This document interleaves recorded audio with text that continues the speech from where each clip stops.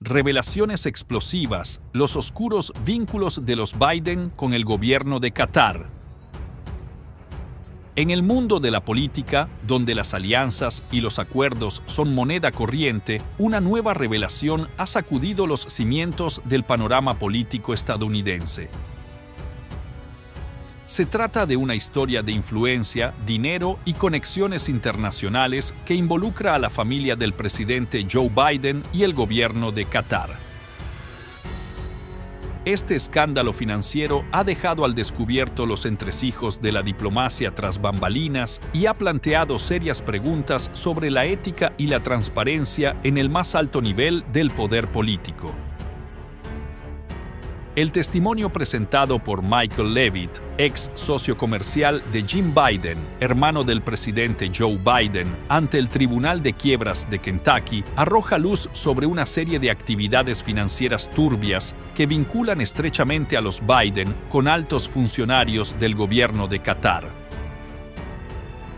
Según las declaraciones de Levitt, Jim Biden colaboró con Qatar para recolectar donaciones y fondos destinados a proyectos de atención médica en Estados Unidos. Estas revelaciones plantean serias preguntas sobre la influencia indebida y los posibles conflictos de interés que podrían haber surgido de esta asociación.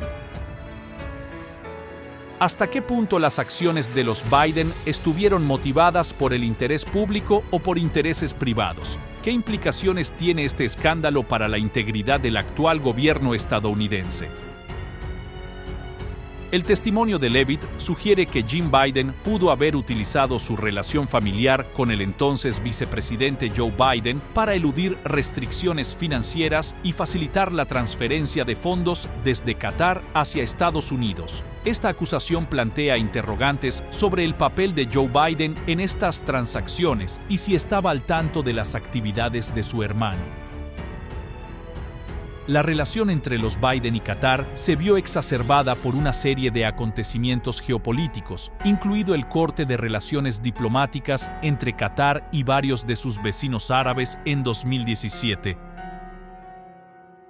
En medio de esta crisis, Qatar buscó fortalecer sus lazos internacionales, ofreciendo obsequios y beneficios financieros a individuos bien conectados en Occidente.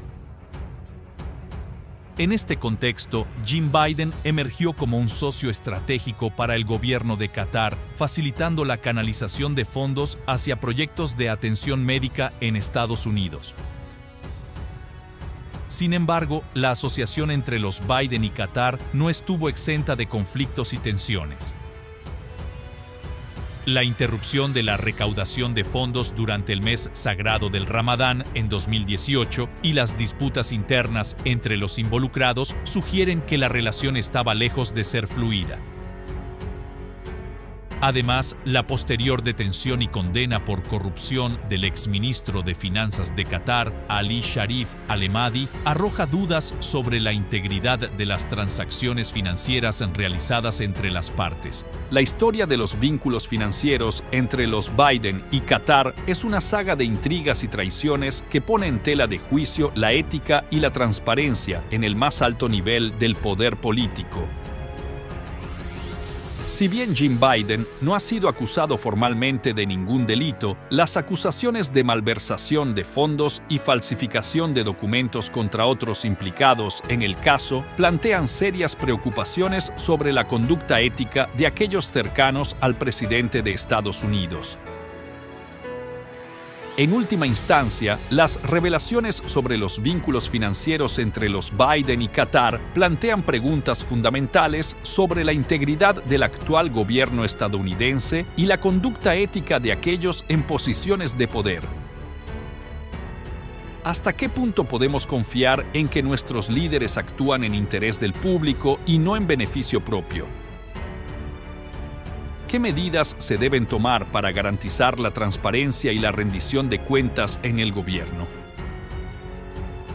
Es imperativo que se realice una investigación exhaustiva para esclarecer los hechos y determinar si se han cometido irregularidades.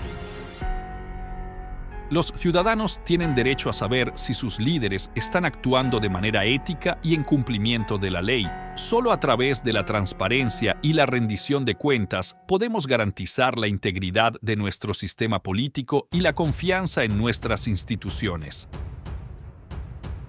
Si te ha interesado esta noticia y crees que es importante que se investiguen a fondo estos vínculos financieros, te animo a que me apoyes dejando un like y activando la campanita para recibir más noticias como esta. Juntos podemos promover la transparencia y la rendición de cuentas en nuestro gobierno. Gracias por tu apoyo.